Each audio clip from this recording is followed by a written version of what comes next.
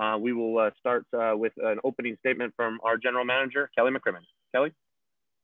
Uh, good afternoon to the members of the media. Thank you for uh, being available. Uh, today, we completed a trade with the Chicago Blackhawks for Marc Andre Fleury. And just to give the, the, people on the call some background on you know two things, I guess, the, the rationale behind it as well as the process that we uh, use throughout. Uh, I, would begin, I guess, uh, by saying uh, these were conversations that began between uh, Marc Andre and myself at our exit meetings on uh, June 29th.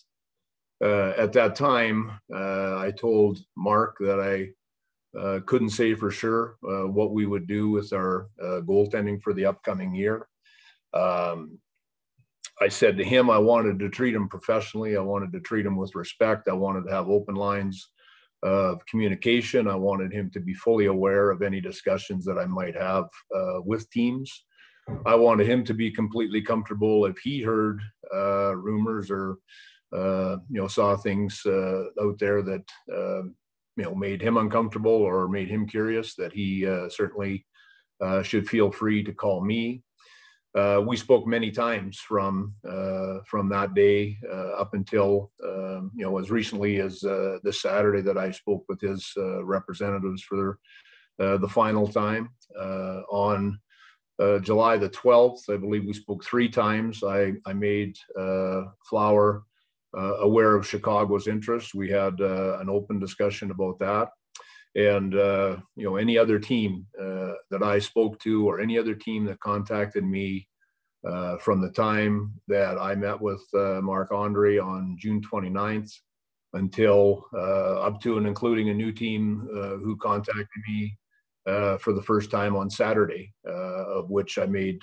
them aware. So I think that communication throughout this process was very good. I told um, uh, you know, I told Marc on the on the at the exit meeting, you know, I want to be able to uh, look him in the eye and tell uh, and tell myself and make him understand or make him feel that he's been treated uh, professionally throughout uh, this uh, this time frame. with respect to and I, I, should I should conclude with respect to this morning. Uh, the rumors hit uh, Twitter before I spoke to Marc Andre Fleury. We had not, uh, in fact, even completed the trade call. We hadn't begun the trade call with uh, with NHL Central Registry. Uh, we would never speak to a player before you got to the trade call in case things don't don't unfold. So, with respect to this morning, it was on Twitter before we had our trade call completed and uh, and and yet, as I've just detailed, um, you know, there was uh, many discussions uh, throughout the time leading up uh, until today. Uh, in terms of the why, uh, what's the rationale behind the move? I, I think, as you on the call here would all know, we've been really fortunate. We had two great goaltenders in our organization with Marc Andre and and Robin Lehner. I give both players a lot of credit. We made the decision to go with uh, with that tandem last year based on a number of factors. Uh, we um, uh, collectively won the Jennings Trophy. Marc Andre uh, individually won the Vezina Trophy. We had 40 wins, uh, which was tops in the NHL. We uh, tied for the, the President's Trophy. we had a successful playoff. We definitely benefited from uh, both of those goaltenders. I think that uh, when you look uh, forward to this year, uh, I, I, think that that same scenario might have been a little harder to manage. I, I mentioned just a minute ago that I give both Marc Andre and Robin a great deal of credit for how they handled it, but I know also uh, that these are two goalies that are both starters, and and I don't know that uh, there would have been the same appetite to do it uh, the same way from those players. Neither uh, neither goaltender, to their credit, expressed any uh, any concern or any issue. It just, uh, I guess, more uh, my own observations with respect to that. And then I guess you know it ties into you know my job is to try to make our team better and you know, to do that, you need uh, cap space to uh, to improve. And I know last year being a cap team, if we're going to um, you know, work on any free agents. Uh, you know, Alec Martinez is one that we've been working on. We're hoping to have news with respect to his status uh, tomorrow. We haven't made uh, final decisions on uh, Mattias Janmark or Tomas Nosek. Um, you know, the discussions you have with other teams about players that might be available, the free agents that might be available tomorrow. Uh, if you're going to improve your team, there's a cap space component to that that is uh, that is definitely challenging. So um, those things all uh, tie into the decision. And I guess uh, I guess that uh, uh at this point, uh, more importantly than uh, anything I've said so far, I'd like to thank Marc Andre Fleury for his time in Vegas. It's incredible the moments that uh, we shared with him as part of our organization. He was the most uh, popular player I've ever seen in sports. He was the face of the franchise when you uh, think back to how it all began, the storybook first season, the uh, you know the uh, you know the passion that he has for the game as uh, as both a teammate and player that's uh, connected to the fan base. I want to recognize uh, his great accomplishments. Thank him for his time for his time here. He's had a tremendous impact on our organization. He's had a tremendous impact on our city. So I know for uh, a lot of people, this is a, a day that uh, definitely is filled with sadness. And uh, certainly I share all of those same emotions that you do. And yet, uh, I do feel, um, you know, I'm responsible to try to do everything I can uh, to put the best team on the ice. That's uh, that's what you know I'm doing along with the other people in our hockey operations. We work hard to make good decisions, and uh, give you a team that you're going to be proud of. So, uh, again, uh, more importantly than uh, how I opened, I want to make sure that uh, Marc Andre uh, is recognized for all that he's done for this organization. So, with that, I'll open it up to questions.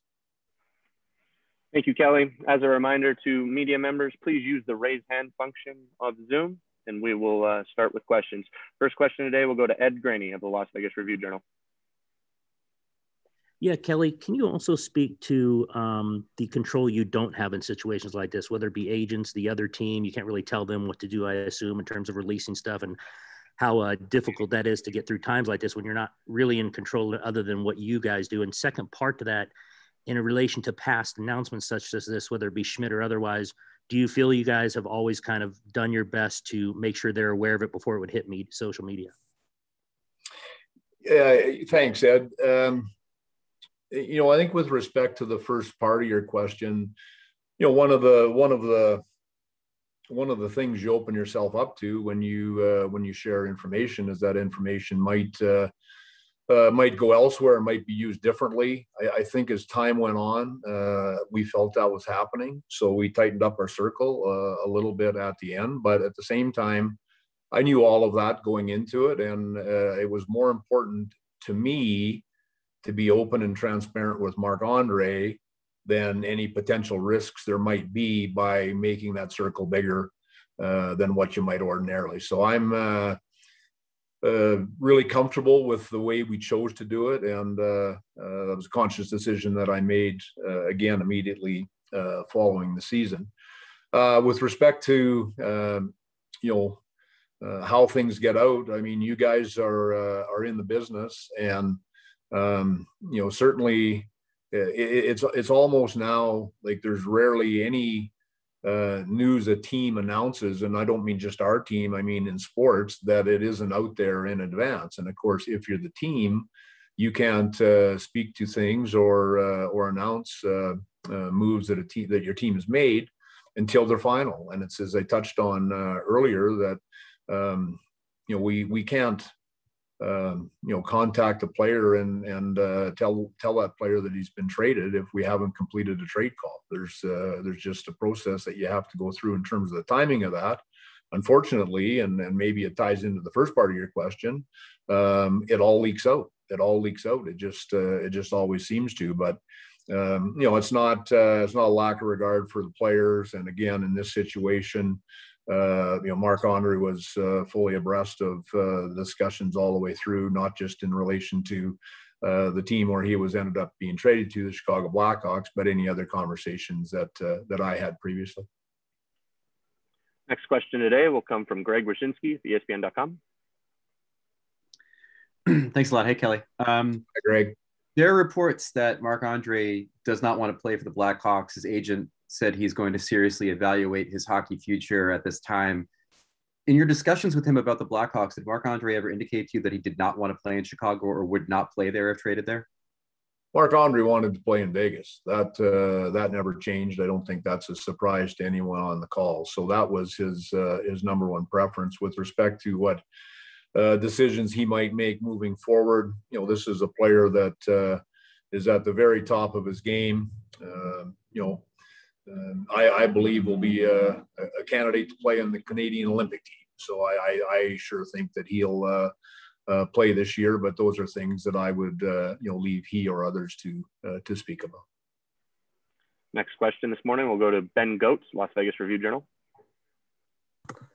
Hi, Kelly. You mentioned you know not having the appetite to have both your number one goaltenders back. Uh, did you consider moving Robin Lehner as well, or were your sole focus on moving Marc Andre Fleury? Yeah, and I think Ben, any of those types of discussions, you know, stay uh, stay internal. Uh, you know, it uh, it uh, you know it ended like it ended. We made the decision that we made, and, and that's probably all I would say uh, to that, Ben. Next question will come from Michael Traikos of Postmedia.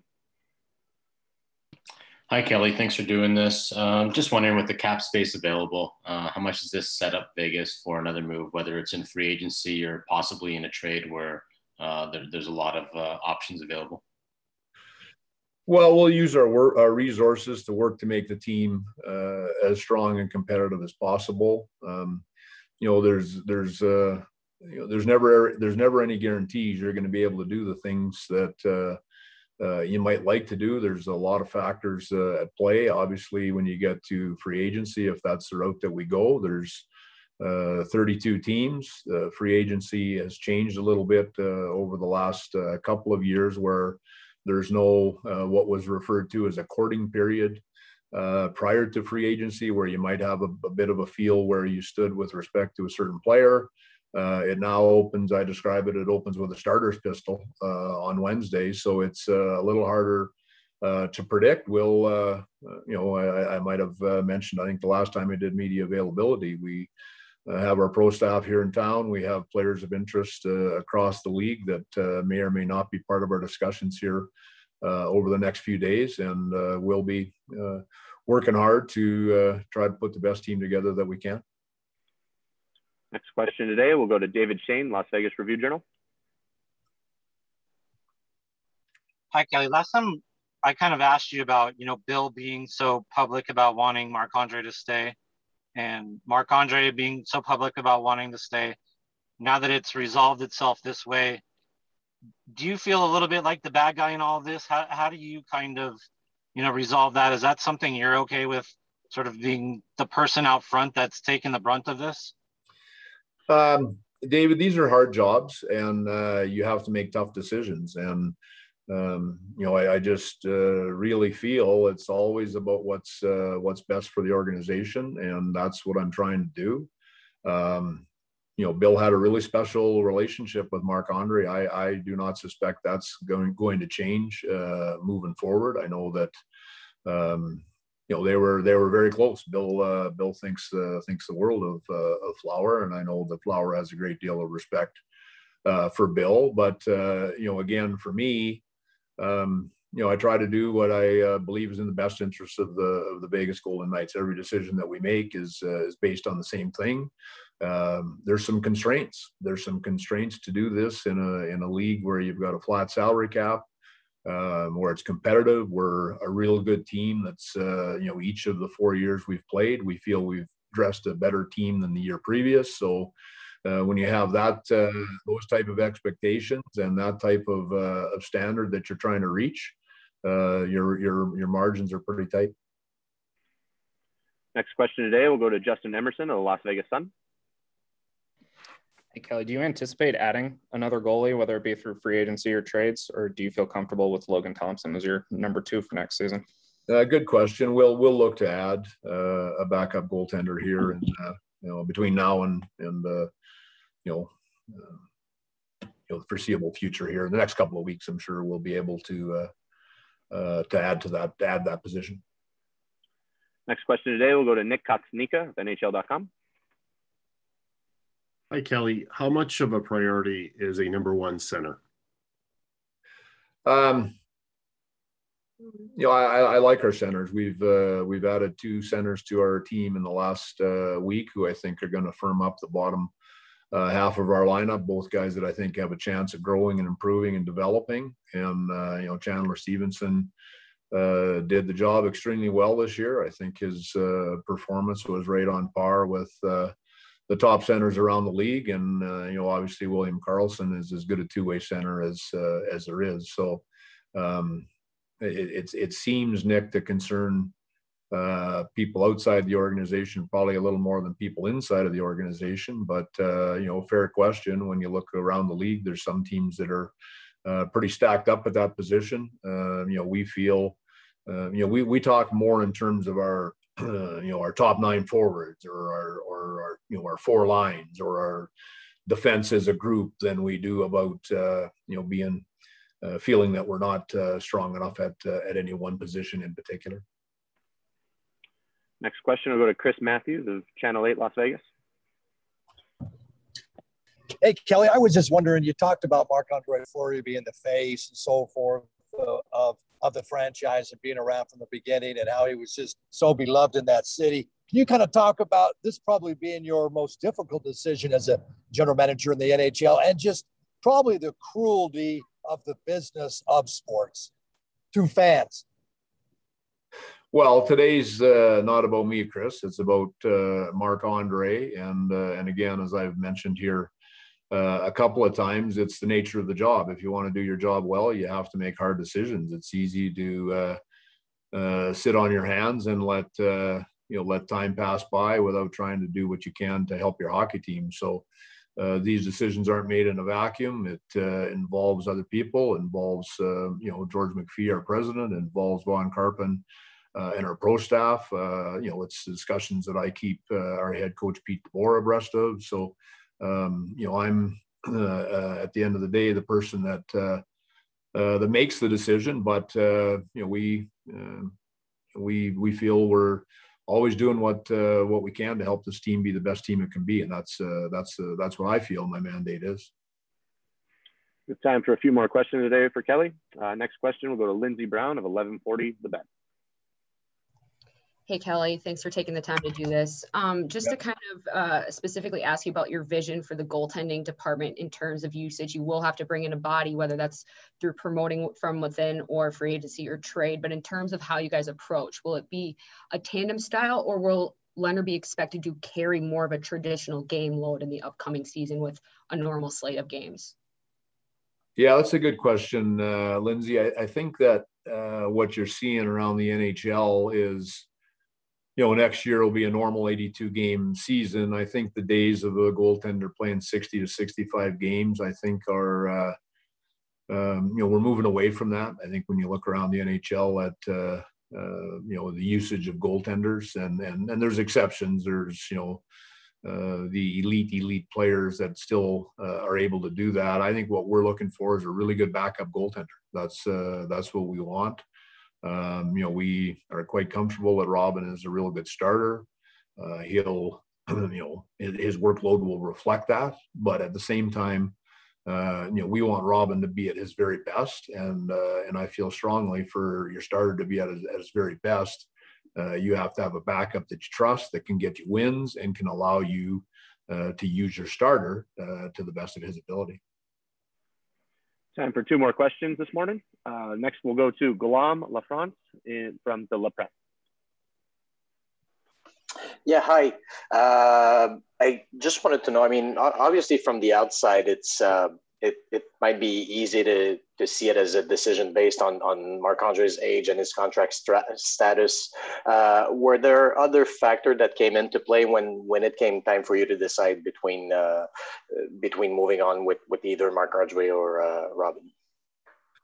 Well, I think when you go back to uh, you know the decision that we made to extend Robin Lehner a year ago, um, you know we we you know, right from expansion, we were always looking for our next goalie. We were fortunate to have Marc Andre uh, be available to us uh, in expansion. We knew that we were going to have great goaltending as a young franchise, which we uh, deemed to be uh, extremely uh, important. But from there, we were always asking the question, who is our next goalie going to be? And, and I think that's where uh, where Robin, you know, slots in real nicely. He's got four years left on his term. He's at the prime of his career and uh, you know that'll give us uh, the type of goaltending that you need to win, and uh, you know that's uh, um, you know how uh, this decision. Uh, that's partly what this decision was based on.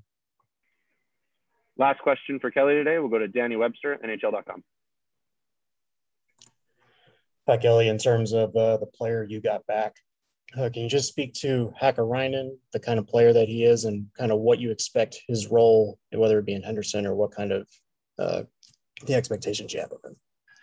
Yeah, with uh, with Mikael Hakkarainen, he will he will remain in Chicago's organization. This is uh, you know more of a situation where um, you know NHL teams have a certain number of contracts that uh, that they're allowed. This uh, this you know keeps uh, that equal in this transaction. So he's going to remain uh, with the Chicago uh, organization likely play uh, in the American League with uh, with Rockford. It'll be our contract, but he'll remain part of their organization.